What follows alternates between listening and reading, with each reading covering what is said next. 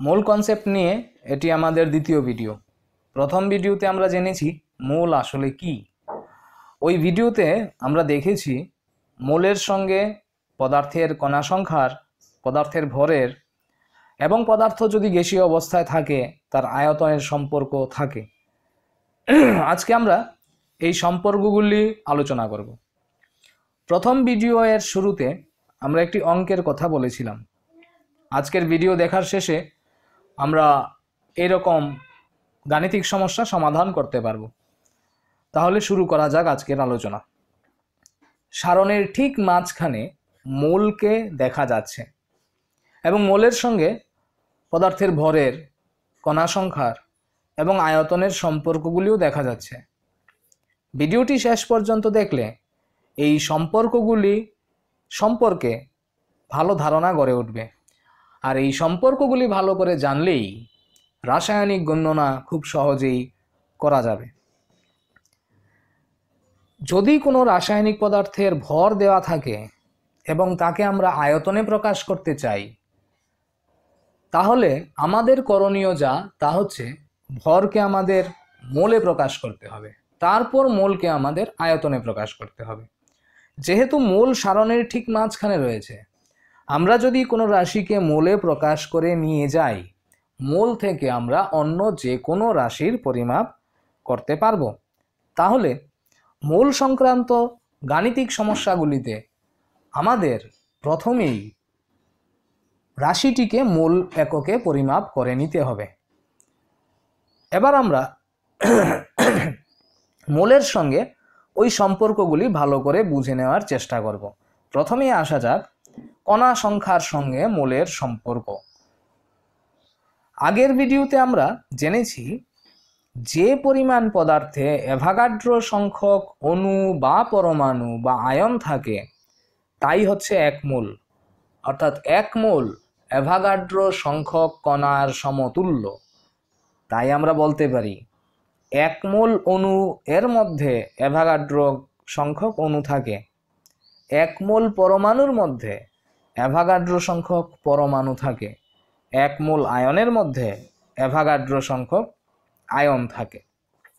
এবার যদি আমরা মোলকে অনুসংখ্যায় প্রকাশ করতে চাই বা অনুসংখ্যাকে মোলে প্রকাশ করতে চাই, তবে ঐকিক নিয়মের ধারণা থেকে তা সহজেই করে নিতে পারব।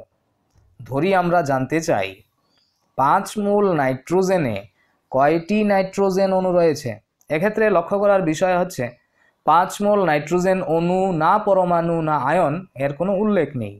যদি এরকম উল্লেখ না থাকে, তবে ভাবতে হবে, এক্ষেত্রে পাঁচ মোল নাইট্রোজেন অণুর কথাই বলা হয়েছে, কারণ পদার্থ অনুরূপেই থাকে।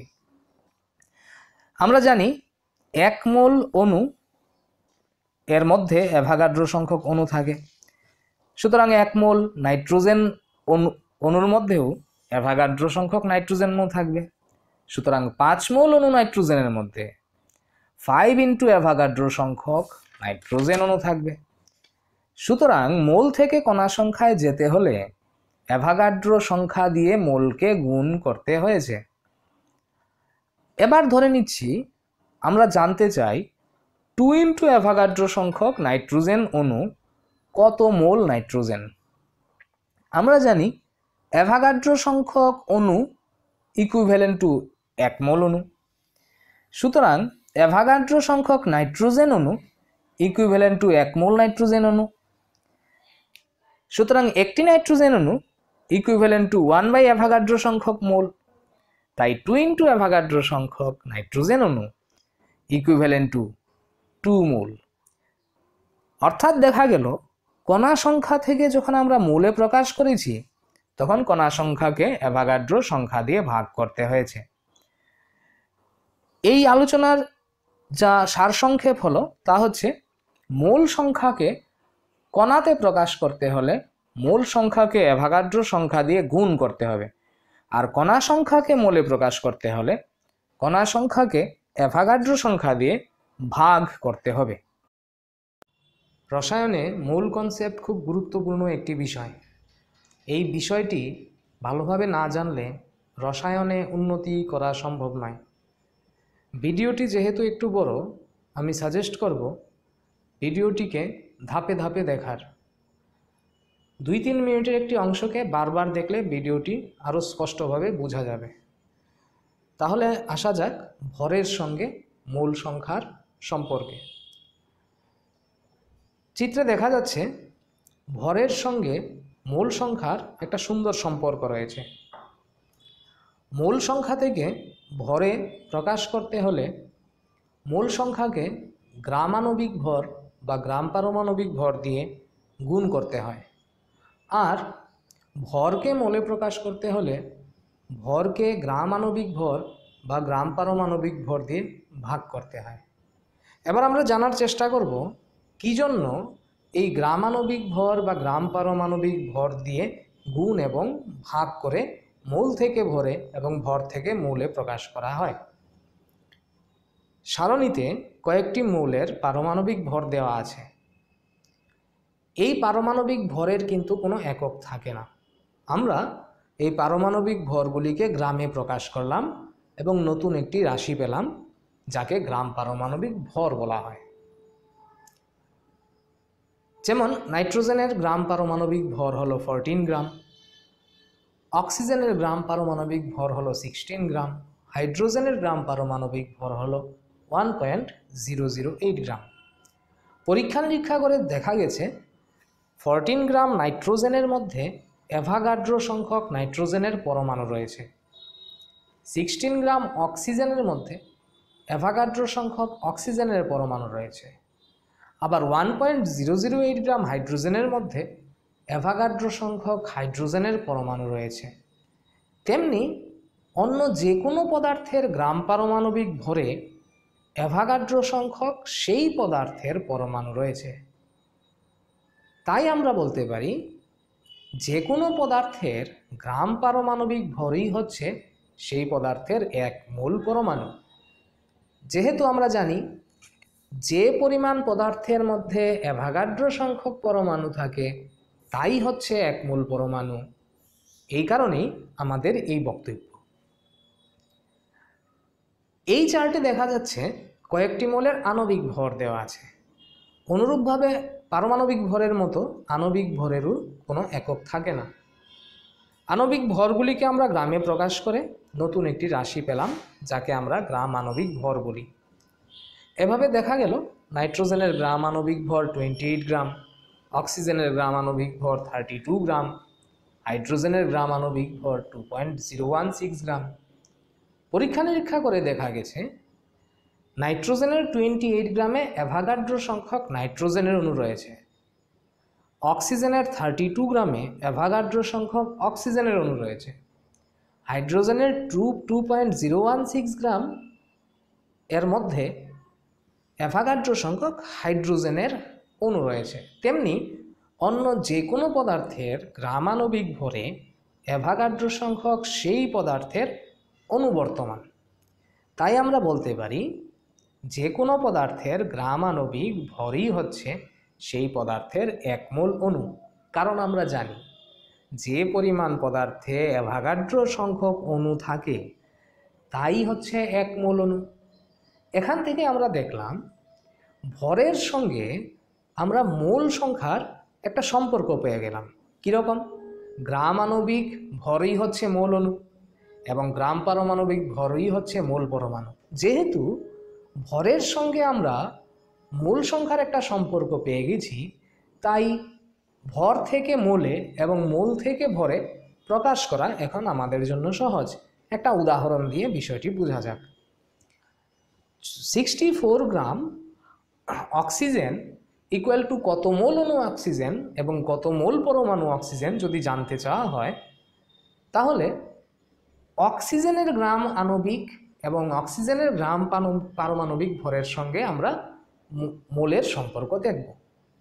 আমরা জানি অক্সিজেনের গ্রাম আণবিক ভর হচ্ছে থার্টি টু গ্রাম এবং অক্সিজেনের ভর দেওয়া আছে সিক্সটি ফোর গ্রাম। সুতরাং six thirty two gram oxygen যেহেতু এক মূল অণু অক্সিজেন সুতরাং সিক্সটি ফোর গ্রাম অক্সিজেন হবে দুই মূল অণু অক্সিজেন আবার আমরা জানি অক্সিজেনের গ্রাম পারমাণবিক ভর হচ্ছে সিক্সটিন গ্রাম।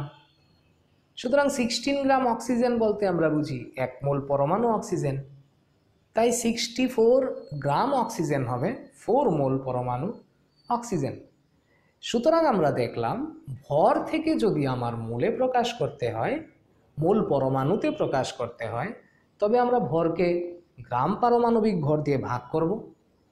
আবার যদি ভর থেকে মূল অণুতে প্রকাশ করতে হয়, তাহলে ভরকে আমরা গ্রাম আণবিক ভর দিয়ে ভাগ ভাগ করব।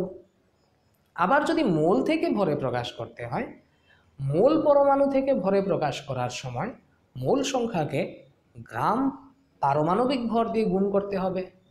আবার মোল অণু থেকে ভরে প্রকাশ করার সময় মোল সংখ্যাকে গ্রাম আণবিক ভর দিয়ে গুণ করতে হবে। এবার আমরা আয়তনের সঙ্গে মোলের সম্পর্ক দেখব। রাসায়নিক পদার্থ যদি গ্যাসীয় হয়, তবে নির্দিষ্ট চাপ উষ্ণতায় মোল সংখ্যার সঙ্গে আয়তনের একটি সুন্দর সম্পর্ক রয়েছে। দেখা গেছে এসটিপিতে বাইশ দশমিক চার লিটার কোনো গ্যাসে অ্যাভাগাড্রো সংখ্যক অণু থাকে। আর যে পরিমাণ পদার্থে অ্যাভাগাড্রো সংখ্যক অণু থাকে, তাই হচ্ছে এক মোল। সুতরাং আমরা বলতে পারি, কোনো গ্যাসের এসটিপিতে কোনো গ্যাসের এক মূল এর আয়তন হচ্ছে বাইশ দশমিক চার লিটার। যেহেতু আমরা এক মোলের আয়তন জানি, তাই আমরা যে কোনো মোল সংখ্যা থেকেই আয়তনের হিসাব নিয়ে নিতে পারব। আবার যদি আমাদেরকে এসটিপিতে কোনো গ্যাসের আয়তন বলা থাকে, তাহলে আমরা ওই আয়তন থেকে মূল সংখ্যা বের করে নিতে পারব। এক্ষেত্রে মূল সংখ্যা থেকে যদি আয়তনে যেতে হয়, তাহলে আমাদেরকে মূল সংখ্যাকে বাইশ দশমিক চার লিটার দিয়ে গুণ করতে হবে। আর যদি আয়তন থেকে মূল সংখ্যায় যেতে হয়, তাহলে আয়তনকে বাইশ দশমিক চার লিটার দিয়ে ভাগ করতে হবে। যেমন বলা আছে পাঁচ মোল নাইট্রোজেনের এসটিপিতে আয়তন কত? আমরা জানি এক মোলের আয়তন এসটিপিতে বাইশ দশমিক চার লিটার। তাই পাঁচ মোলের আয়তন বের করতে হলে মূল সংখ্যাকে বাইশ দশমিক চার লিটার দিয়ে গুণ করতে হবে। অর্থাৎ পাঁচকে বাইশ দশমিক চার লিটার দিয়ে গুণ করতে হবে। আবার বলা হলো, এসটিপিতে forty four point eight litre nitrogen gas কত মোল নাইট্রোজেন? তখন আমরা বলতে পারব, বাইশ দশমিক চার লিটার হচ্ছে এক মোল, সুতরাং forty four point eight litre হচ্ছে। Forty four point eight divided by twenty two point four mole, অর্থাৎ দুই মোল। অর্থাৎ আমরা যখন আয়তন থেকে মোল সংখ্যায় প্রকাশ করেছি, তখন আয়তনটিকে বাইশ দশমিক চার লিটার দিয়ে ভাগ করেছি। এবার আমরা মূল সংক্রান্ত গাণিতিক সমস্যাগুলি সমাধান করার জন্য তৈরি হলাম। ধরি অঙ্কটিতে জানতে চাওয়া হয়েছে, ছাপ্পান্ন গ্রাম নাইট্রোজেন এসটিপিতে কত আয়তন দখল করে? এর মধ্যে কয়টি অণু আছে এবং কয়টি পরমাণু আছে? এক্ষেত্রে ছাপ্পান্ন গ্রাম নাইট্রোজেনে কত মোল? এটা জানতে চাওয়া হয়নি। যদিও কত মোল না জানতে চাওয়া হয়, তবু আমরা প্রথমেই যা করব তা হচ্ছে ছাপ্পান্ন গ্রাম নাইট্রোজেনকে মোলে প্রকাশ করব। একবার যদি আমরা তাকে মোলে প্রকাশ করে নিই তাহলে মোল থেকে আমরা তার আয়তনে প্রকাশ করতে পারব, তার অনুসংখ্যায় প্রকাশ করতে পারব, তার পরমাণু সংখ্যায় প্রকাশ করতে পারব, আমাদের যেটা ইচ্ছা সেটাতেই প্রকাশ করতে পারব। এবার ছাপ্পান্ন গ্রাম নাইট্রোজেনকে মোলে প্রকাশ করতে হলে নাইট্রোজেনের আণবিক ভর দিয়ে ভাগ করতে হবে। নাইট্রোজেনের আণবিক ভর হচ্ছে টোয়েন্টি এইট গ্রাম। তাই নাইট্রোজেনের মোল সংখ্যা দাঁড়াবে ছাপ fifty six by twenty eight equal to two mole এবার দুই মোলের এসটিপিতে আয়তন বের করতে হলে, অর্থাৎ মোলকে আয়তনে নিয়ে যেতে হলে আমাদেরকে twenty two point four litre দিয়ে গুণ করতে হবে।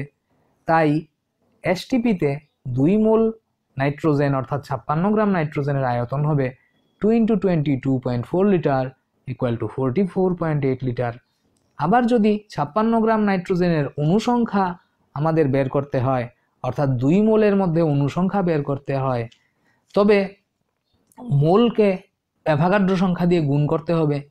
সুতরাং মোট অনুসংখ্যা দাঁড়াবে টু ইন্টু অ্যাভাগাড্রো সংখ্যা।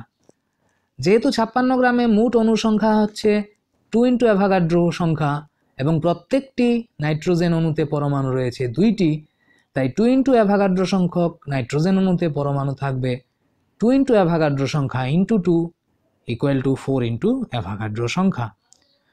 পরবর্তী ভিডিওতে আমরা তুল্যাঙ্ক ভার নিয়ে আলোচনা করব। রসায়নে মূল ধারণার মতোই তুল্যাঙ্ক ভারও খুব গুরুত্বপূর্ণ একটা বিষয়। ভিডিওগুলিকে দেখতে হলে চ্যানেলটিকে লাইক করুন এবং সাবস্ক্রাইব করুন। ধন্যবাদ।